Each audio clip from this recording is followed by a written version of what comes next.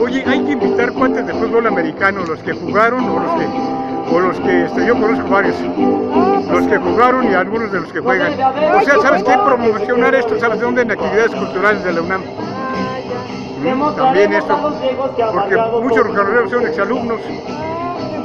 Sí. Y aunque digan los guitarros música infernal, paciencia y música no tengas de soñar.